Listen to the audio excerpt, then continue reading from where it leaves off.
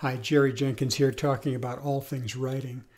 Today on Writing Devotionals. If you're a person of faith and yourself benefit from reading daily devotionals, you may find yourself eager to help others grow spiritually too. But beware, don't get into writing devotionals unless you're passionate about the task.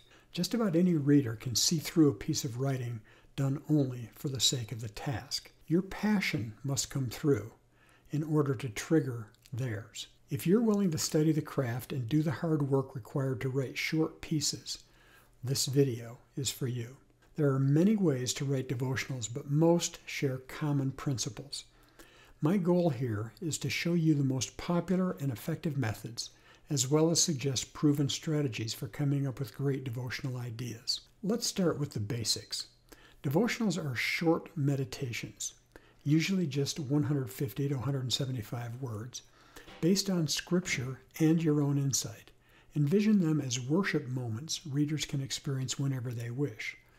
Devotional publishers need a lot of fresh material. More than 25 devotional quarterlies publish 365 new entries each year, year in and year out. Publishers of Vacation Bible School and Sunday School materials often include devotionals for teachers and students. Many magazines and e-zines run devotionals in every issue. Some publishing houses produce not only devotional books, but also desk calendars and greeting cards that require even shorter devotional thoughts. All this material must be replenished constantly. Publications can't just recycle the same devotionals they ran last year. Instead, they depend on freelance writers to provide hundreds upon hundreds of original and insightful new ones. So, what makes a good devotional? Your readers are giving you a few minutes of their precious time every day. In exchange, you want to give them an engaging piece of writing that offers fresh insights on eternal truths. Your goal is to be genuine and honest, but never grandiose or admonishing. An engaging devotional writer is saying, in essence, Come alongside me for a few minutes, let's talk. Remember to keep your style appropriate to your audience. Obviously, writing for teens is not the same as writing for seniors, for example. And although your anecdotes and illustrations should be drawn from your life, the principle should always be drawn from Scripture. Your job is to present God's wisdom in a package your reader can relate to.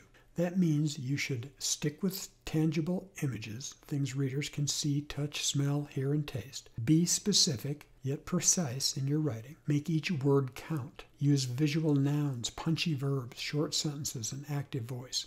It's also important to give your reader credit. Resist the urge to suggest an application of the principle you've covered in your devotional. If the shoe fits, your readers will wear it without your pointing a finger in their faces and telling them what to do. So, who reads devotionals? Just about anyone you can think of teens, college students, men, women, grandparents, veterans, athletes, teachers, you name it. While many simply want a refreshing spiritual boost to their day, many turn to devotionals to meet deep needs. They may have lost friendships or experienced divorce, lost a job or their home, or suffered the sting of criticism, betrayal, or the death of a dear friend or family member. Others seek intimacy with God. Perhaps their prayer lives are lax, their testimonies weak, or their church attendance sporadic, and they need to find their way back to a vibrant faith they can share with others. Regardless what is going on in their lives, your readers may use your devotional as their only connection to the Bible all day. A harried mom may read one before bed. A busy teacher may read one during lunch. An executive may read one during breakfast. So, what do you need to bring to the table to help that happen? First, you need a pure heart. See James 3, verses 8 through 11. With humility, graciousness, and spiritual sensitivity, you might create something that can change a reader's thinking and behavior. Next, you need a focused mind. See Psalm 1, verses 1 through 3, and Psalm 73, verse 28. A powerful devotional message is short, so you must write succinctly. Finally, you must have a burning desire. See Jeremiah 20, verse 9. Pray for guidance to offer the right words to someone who may be reading a devotional published up to a year after you write it. Now, you won't get rich writing devotionals. That's why it's important to take them and write them in batches to make it worth your while. Not that you're doing it solely for the money, of course. You can repurpose your devotionals, revising and reselling your print versions as radio or podcast devotionals for about the same rate of pay. You can also collect your devotionals and publish them as a book, receiving an advance in royalties. But as with all inspirational market writing, beyond income, you may also enjoy readers telling you your words change their minds about something important or came at just the perfect time in their life. It goes without saying that before you can receive that kind of feedback, you have to succeed in getting your devotionals published. I've provided links in the video description that will take you to the submission guidelines for several publications. Here's how to approach the writing itself. When you settle on a passage of Scripture as your anchor text, read it in different translations until you thoroughly understand the verse in context. Then keep the lesson current by offering an illustration today's reader can relate to. Here are four of several ways to approach devotionals. The first is self examination. Draw on personal experiences and use anecdotes that contain valuable lessons. Often such devotionals begin with when I was in high school, or fishing alone one morning, or during my first year at camp. The self evident moral or application should tie in with the selected scripture. Second, you could report as an outside observer. Tell something that happened to someone else. Real names may be used with permission or changed if necessary, as long as the story is true. You may start with something like, When my great grandmother first came to America, or my best friend had just gotten his driver's license, or most people are unaware that George Washington. Third, you can tell a story of interacting with someone. Report on something you learned from a friend, coworker, or family member. Begin with something like, My son taught me a lesson one day when I was taking him to school. Or, My friend could always make me laugh. Or, One day my college history professor was explaining, etc. Fourth, you can write an object lesson.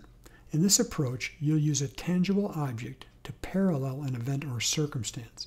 Jesus liked this format, using everyday items like a mustard seed, a Roman coin, a lamp, a bushel, or a tower as metaphors. Object lesson devotionals allow readers to quickly draw the parallel between the object and the lesson. As an example, trees killed by a saltwater tsunami may still stand upright, but they will bear no fruit, like people who come to church each Sunday but do nothing during the week to share their faith. These are just a few of the most common ways to approach writing devotionals. So, where will you find ideas? Much of what we experience in our daily lives has the potential to become a devotional. Has God ever used a specific verse of Scripture to change your life? How? Has He brought a person into your life to alter your direction, such as a teacher or friend? Have you received a dramatic answer to prayer that proved God was working in your life? Brainstorm sad or funny experiences, things you've learned while traveling, poems or songs that move you, how you felt when you learned about a friend's illness or accident. For more inspiration, check out the link in this video or below in the description. Now, here are a few things to avoid. Although certain publications use devotionals targeted to teens, working women, or seniors, most devotionals you write will be read by a wide audience. So keep in mind that your readers will represent many different financial and social conditions. The distinctive beliefs of many denominations and traditions must be respected. So avoid controversial topics like infant baptism, female ordination, or charismatic gifts unless you're writing for a publication from that specific tradition. Now, when it comes to the actual writing, all devotionals follow the same basic format. Before submitting a devotional, find the publication's writer's guidelines online and also check out the publication itself. Then follow those guidelines exactly. Your name, address, and phone number should appear on each page.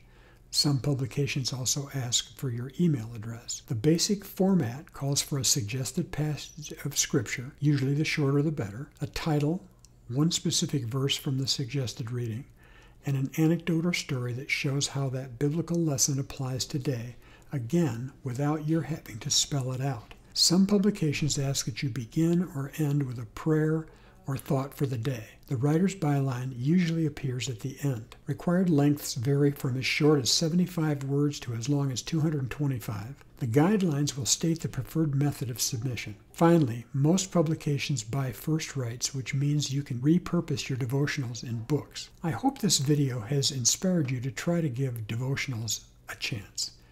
If you'd like more inspiration and ideas, head over to How to Write a Devotional. And if you found this video helpful, Please like it, leave a comment, share it, and subscribe to my channel. All the best with your writing.